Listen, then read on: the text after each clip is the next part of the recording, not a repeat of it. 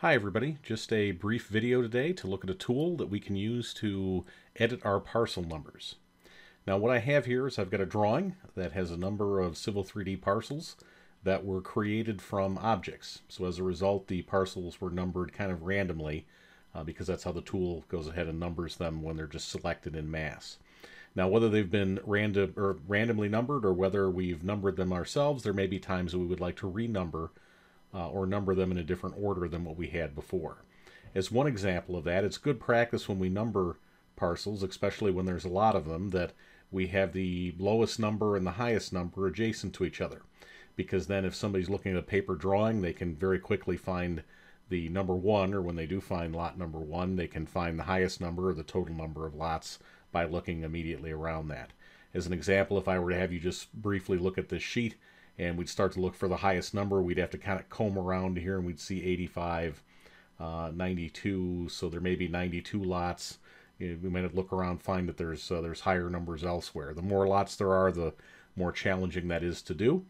Uh, so what we'll do is we'll look at the edit parcel numbers command that we can uh, number these very quickly so that the lowest and the highest are adjacent to each other. So to do this, I'm going to select uh, a parcel on the parcel number itself. We'll go ahead and from the contextual ribbon, we'll select renumber rename. That will execute the edit parcels number or edit parcel numbers command. We'll start with parcel one, increment by one.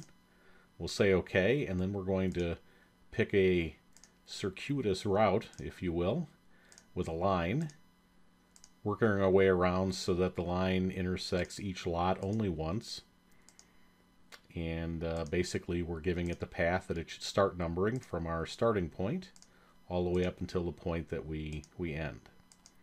So we'll come over in this direction hop over into lot 20 here come across and we've left ourselves a path that we can work our way back to this side and then back up to the the end.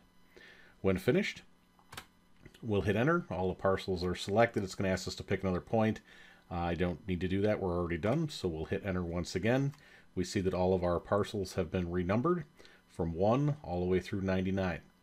So if we were to print this off, it would be very easy for anyone looking at it, regardless of the number of lots that are there, to uh, find lot number 1 and then immediately look around that and, and recognize how many lots are in this particular area.